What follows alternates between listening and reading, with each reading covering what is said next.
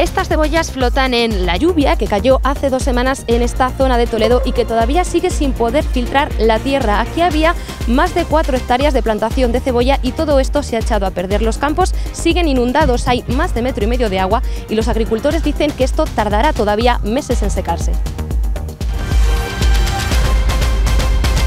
Nosotros aquí calculamos entre lo inundado de agua más lo que se ha perdido de productos que no algunas cuatro hectáreas podemos haber perdido. Hay plantas que se han perdido, hemos perdido mucho suelo, hay que desmontar espaldera y volver a montar y estamos hablando de miles de euros, lógicamente.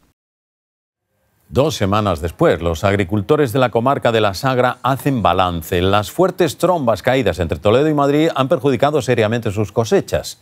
Productos como la cebolla, en plena campaña de recogida, se ha llevado la peor parte. Alicia Plaza. Las consecuencias para los cultivos hortícolas han sido especialmente desastrosas. Aquí había una plantación de más de 4 hectáreas de cebolla y todo esto se ha echado a perder. La tromba de agua que cayó en esta zona de Toledo, cerca de 250 litros, ha dejado inundado el campo. Ahora mismo hay todavía cerca de metro y medio de agua de profundidad que la tierra no puede filtrar. Los agricultores nos cuentan que esto no había ocurrido nunca, que tardará meses en secarse y que deja daños irreversibles. Esta cebolla está podrida, hueca entera del agua. Son los estragos dos semanas después de las intensas precipitaciones que cayeron en esta zona de Toledo. Todo esto se ha perdido, toda la plantación que había aquí de cebolla y por supuesto la que está al lado. La fuerte lluvia inundó esta parcela de más de cuatro hectáreas que se encontraba ladera abajo. Cayeron cerca de 250 litros y la tierra todavía no ha podido absorber tal cantidad de agua. Aquí nunca ha pasado esto, ¿eh?